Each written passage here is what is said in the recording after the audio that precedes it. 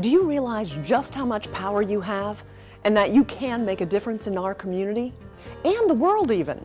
It's a difficult concept for adults and probably even more challenging for students to grasp.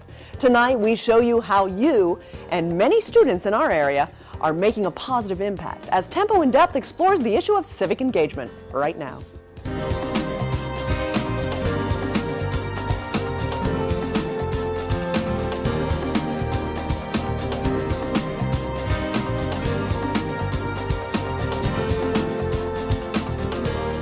Support for Tempo In Depth is provided by the members of PBS 39.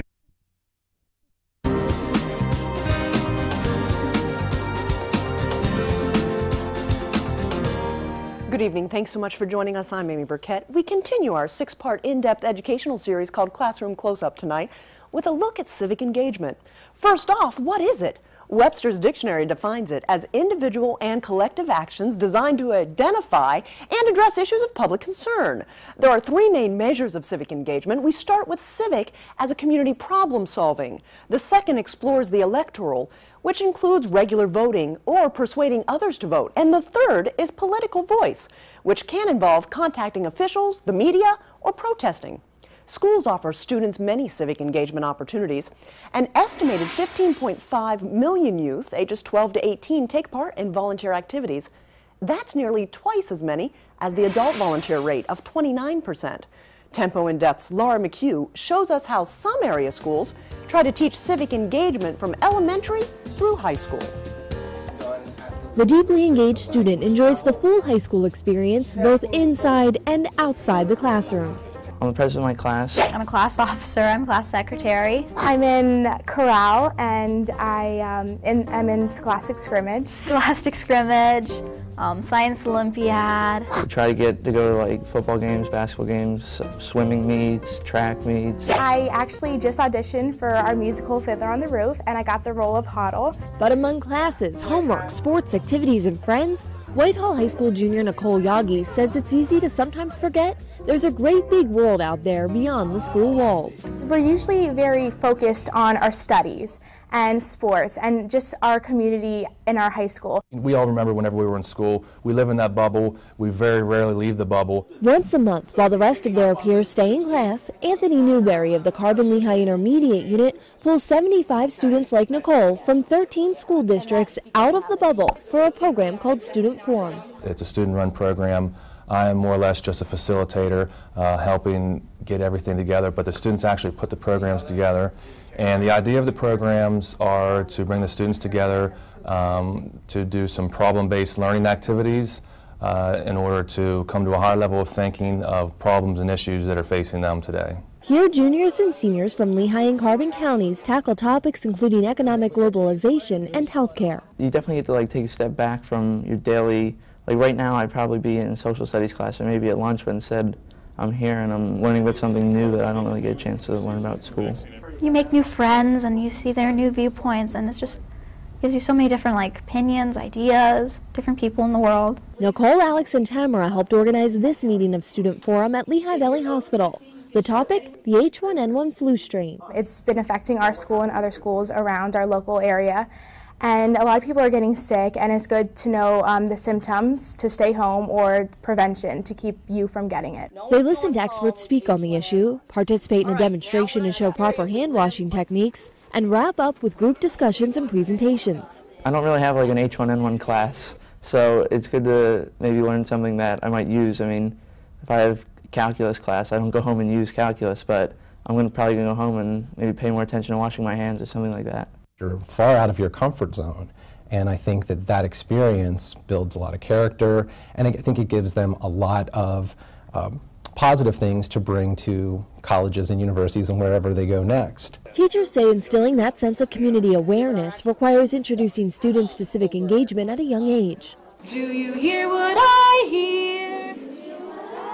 It's one week before Christmas, and at Allentown's Union Terrace Elementary School, these fifth graders have prepared to give the gift of music to a group of senior citizens. It allows the kids to see that um, they're not just part of a school community, but there's a bigger world out there. After weeks of giving up recess to practice their carols, 30 students bundled up and walked almost a mile to the nearby Phoebe home. Good morning. To serenade the residents. He knows if you've been bad or good, so be good for goodness sake.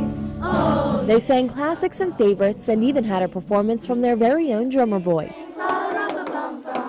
When you're with them, you get to see their smiles and make them laugh a lot. So it's very cool. Oh, it was delightful. And uh, they sang a lot of songs, and uh, uh, it was a large group. Uh, I was impressed. Afterwards, students had the chance to chat with the seniors and play a few rounds of bingo. N44. Oh, they were great. And the girl that helped me on bingo, I said, if I win, it's your money. and then I, but I didn't win. Lucille's friend Loretta won one round, That is a good bingo. but the kids walked back to school with a much bigger reward. It made me feel good because I got to help other people. It's really nice to meet other people and that that it's a great way to help our community. And the important thing was, did we know those people? No. No, but are they part of our community?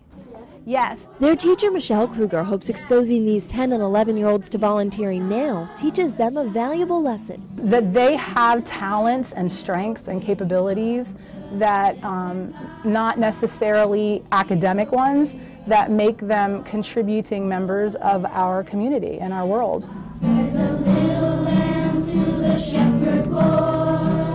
Michelle hopes they'll carry that lesson with them through high school and the rest of their lives, whether they're thinking globally or acting locally. For Tempo In Depth, I'm Laura McHugh reporting. Thanks so much, Laura. We're going to continue our conversation on civic education right now. We are very lucky that the First Lady of Pennsylvania, Judge Marjorie Rendell, joins us now in the studio. Judge Rendell, thank you so much for your time. Thank you for the opportunity. Civic education has been your hot button issue mm-hmm. Since your husband's been in office as the governor. Help us understand, but also you have an interesting role as a federal judge. You have seen the uh, process of civic engagement from beginning to end. How are you able to make an impact and help that next generation of young people be engaged and involved in civic as well? Well, I hope that I can provide a, a window uh, to our democracy. Uh, it really hit me when I was presiding over a naturalization ceremony that we in our country have such a wonderful democracy that is envied throughout the world. People come to our country because of our democracy, yet we don't realize it. So, uh, as a federal judge, I deal with it firsthand. As you know, I deal with the Constitution day in, day out.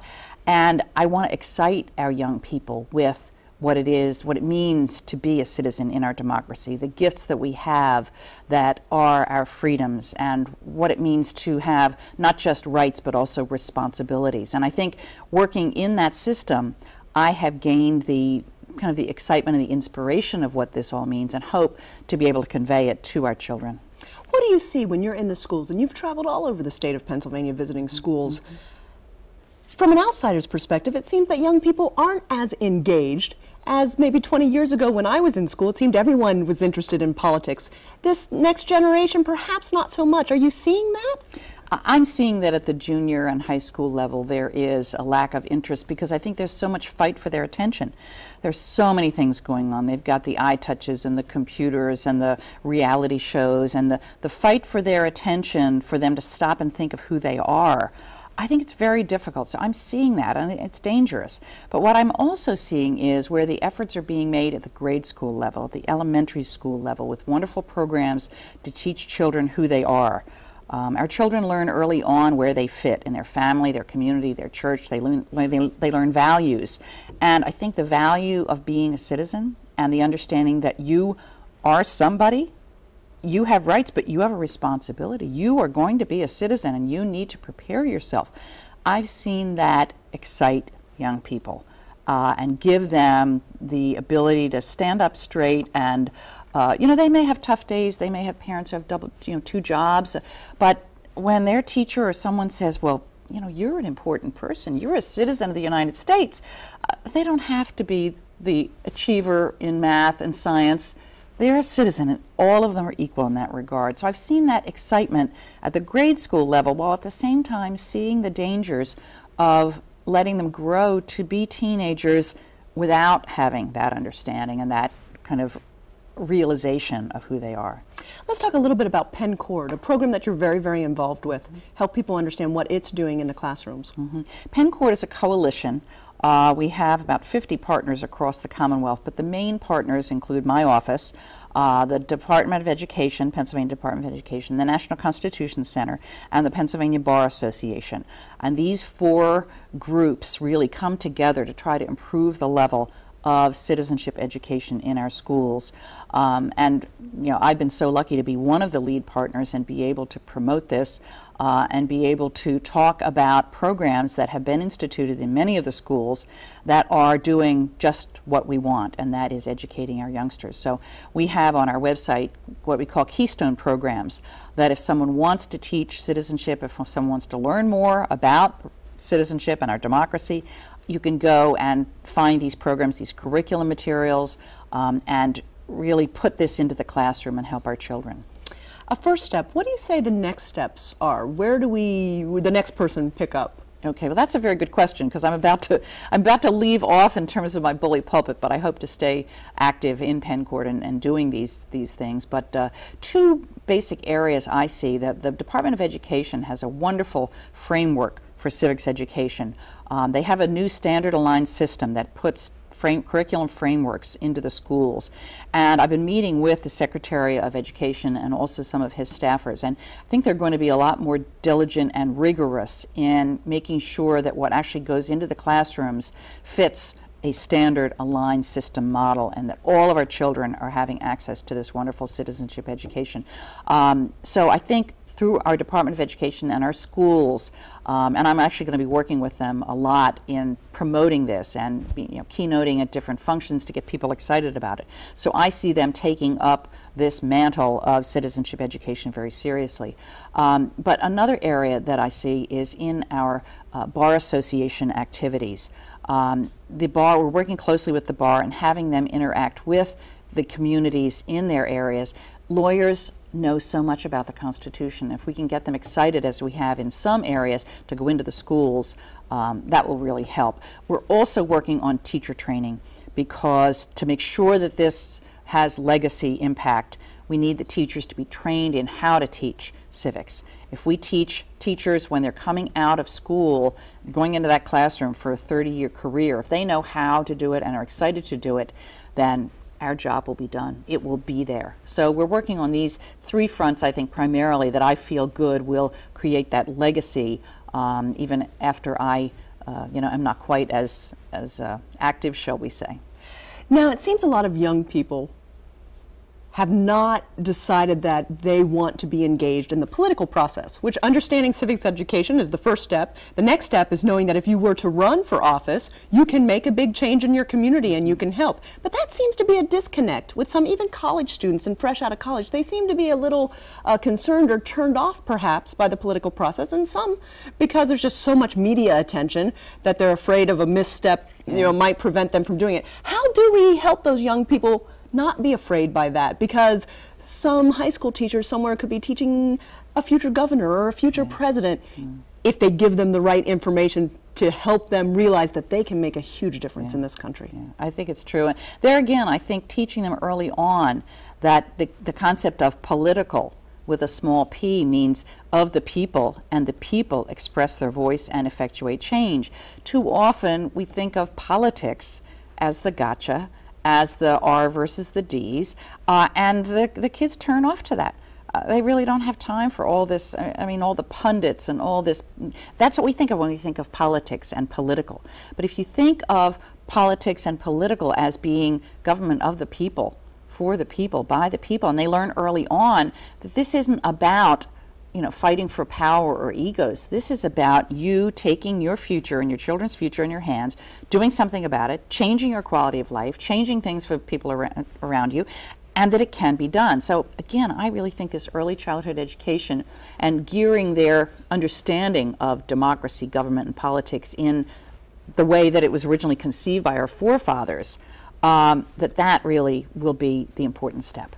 Getting back to the basics. Exactly. 1st Mhm. Lady, Judge Marjorie Rendell, thank you so much for sharing your information with us. Thank you. It's been a great opportunity.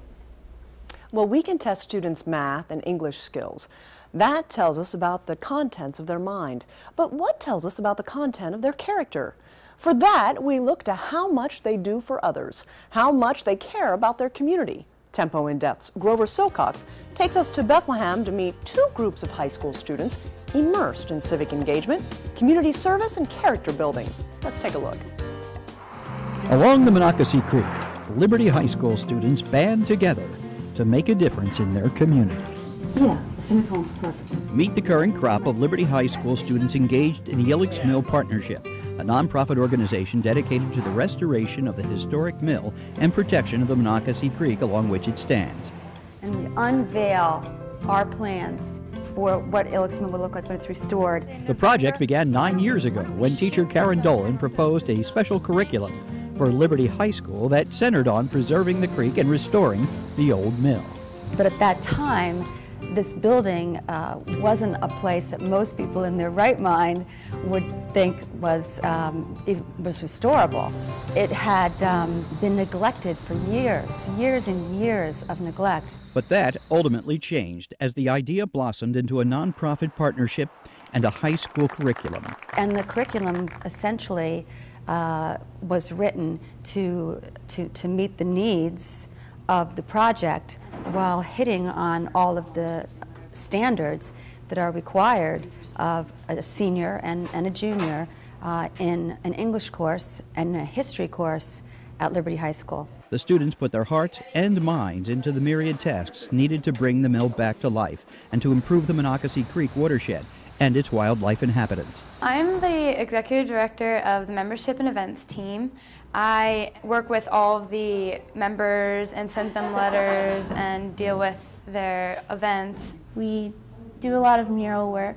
Um, we work on a lot of the trees, uh, adding leaves to them, and the mural we're working on now is the life cycle of a leopard frog.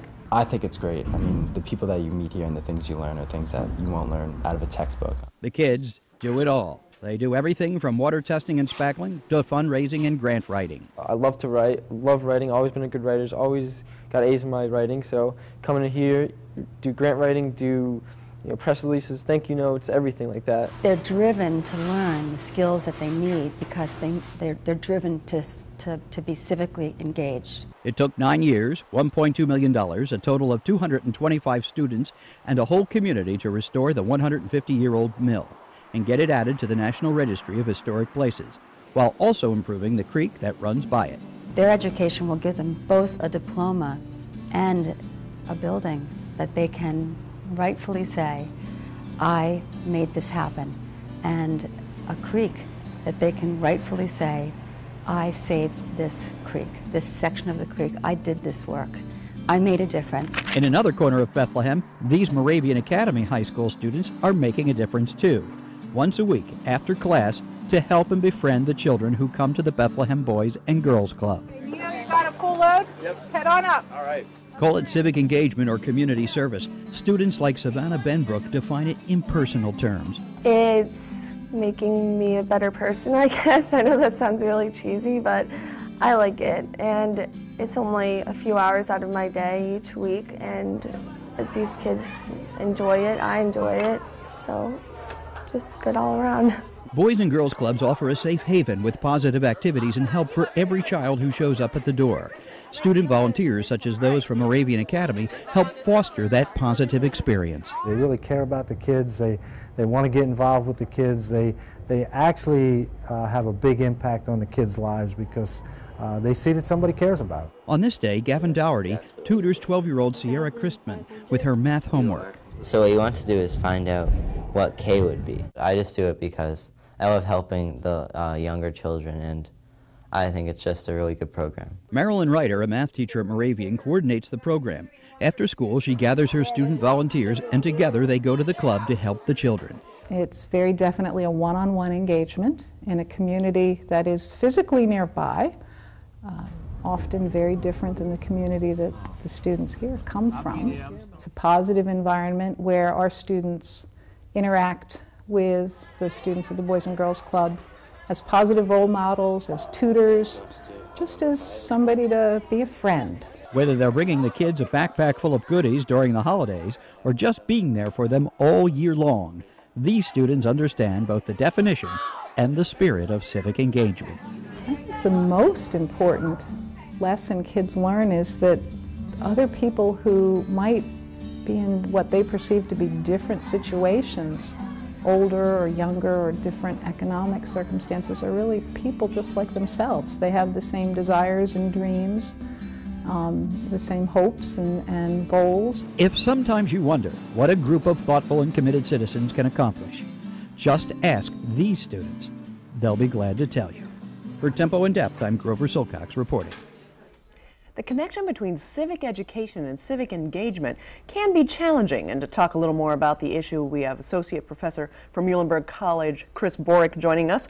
Chris, thanks so much for your time. Help us understand kids often don't make that connection between helping someone and being engaged in the political process. Absolutely, Amy. That's one of the major problems in educating for civic engagement young people have an interest in serving their community. Um, they want to volunteer. They want to serve uh, for environmental organizations, women's shelters, uh, soup kitchens. That, that we, we see that preference all the time, and people want to make that. Young people want to go out and do those things for their community. What they don't see is the connection to government and politics. Often they see government and politics as irrelevant to them.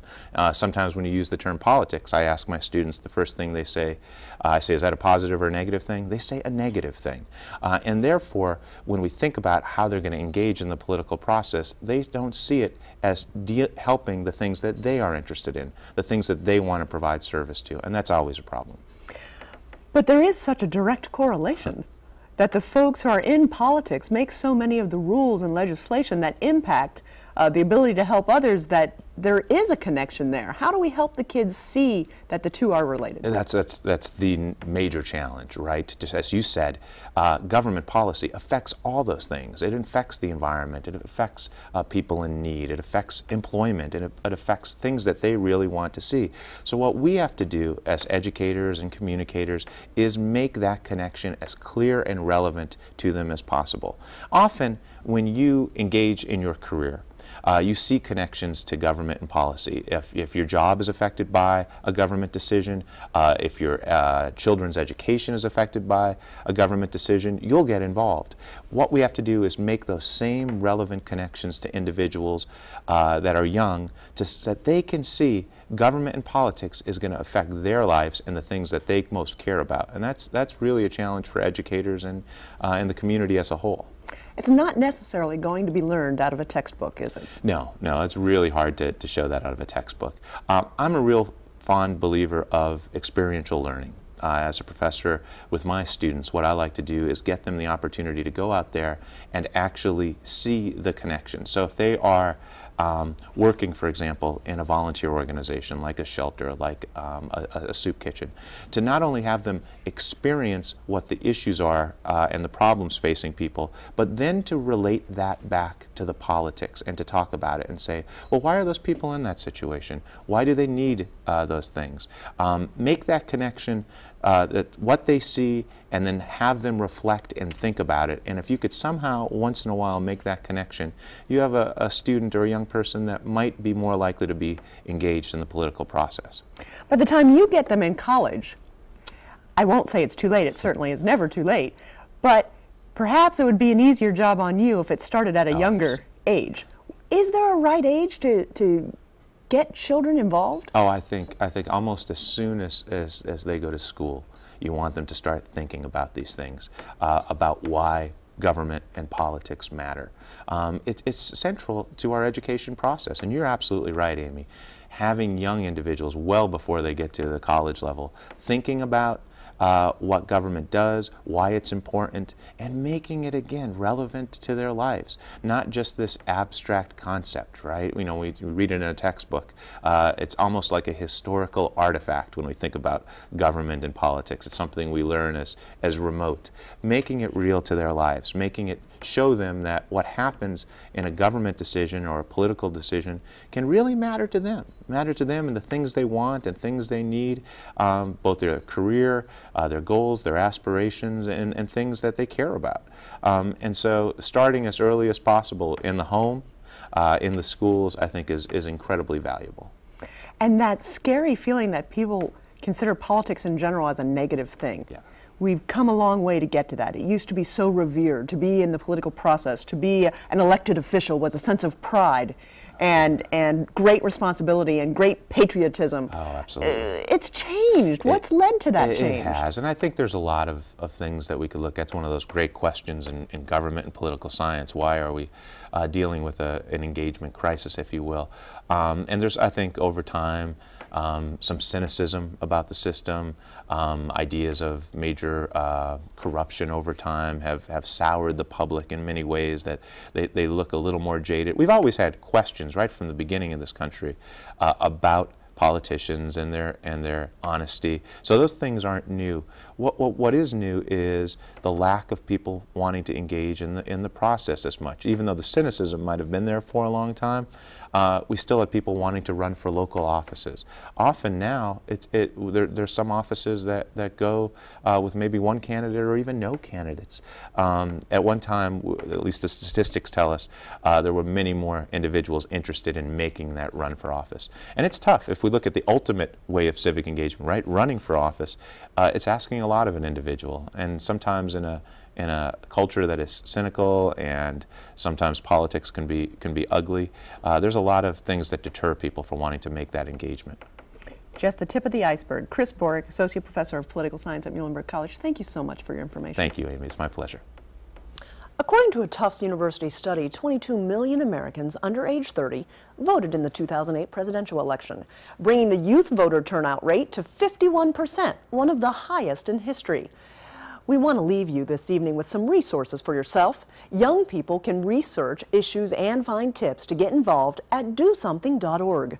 You can find hundreds of ways to volunteer across our community by heading to the Volunteer Center of the Lehigh Valley at volunteerlv.org. If you're looking for ways to get involved in national service, you can check out the Corporation for National and Community Service at nationalservice.org. By being engaged in the political process and in our communities, we each have the power to make positive changes. We're looking for your feedback on our classroom close-up programs. Please head to our website at WLVT.org and click on Tempo in Depth. You can email this program to friends as well as take a short 10-question survey and share your ideas on other educational topics you'd like us to explore. We need your feedback, so please check out our website. Thanks so much for joining us, and good night. Support for Tempo In Depth is provided by the members of PBS 39